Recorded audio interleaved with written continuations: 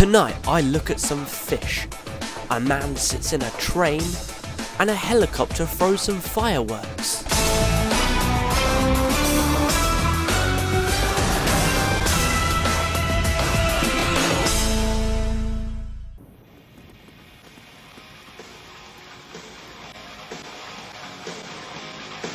Package inbound.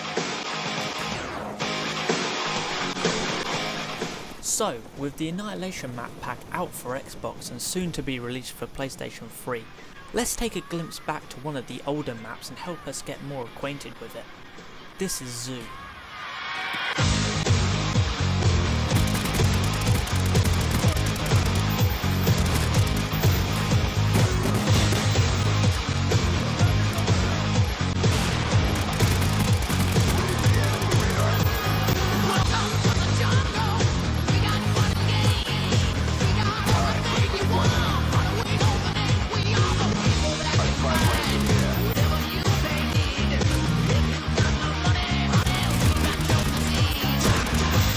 On first glance, you'll probably notice the tall building structures overlooking the large arena-like open areas, and it is in that aspect that the map feels a lot like WMD.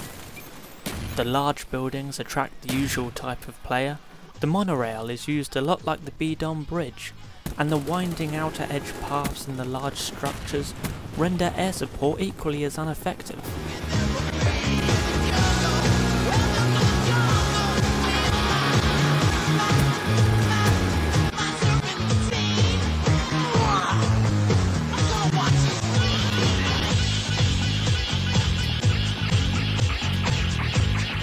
As far as maps go though, they could have done a lot worse.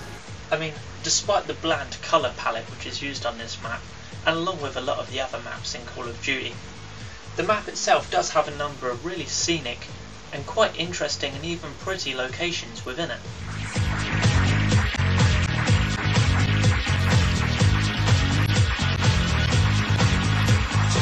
And it appears that I'm not the only one who thinks so, as camping can be a very big problem in this map. Here are a few locations and very easy ways to take care of them. Like here for instance, this can be very common in games of demolition and domination. But if you run round the back of this line and pop a grenade over the main here, you'll get whoever's on the top of that building with simple ease. Secondly, we have behind this little desk in the central middle building.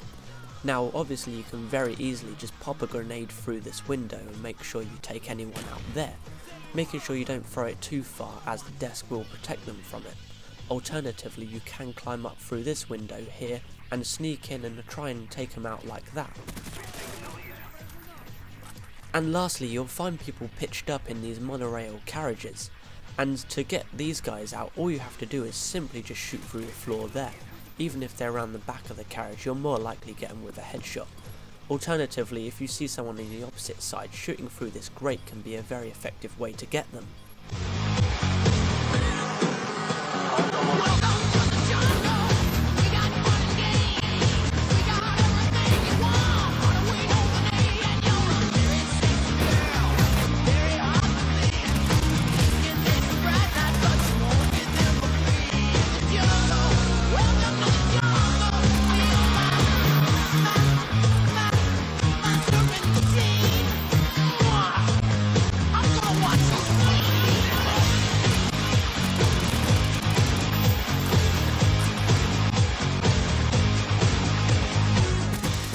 At the end of the day, the way a person plays a map is directly affected to how comfortable they feel in it. The best thing you can do to try and improve your chances in a certain map is just to play it more and more, even if it's just in a combat training or a private match. That way you'll find the comfort zones and the high traffic areas, and you'll just be more experienced and be able to play it better.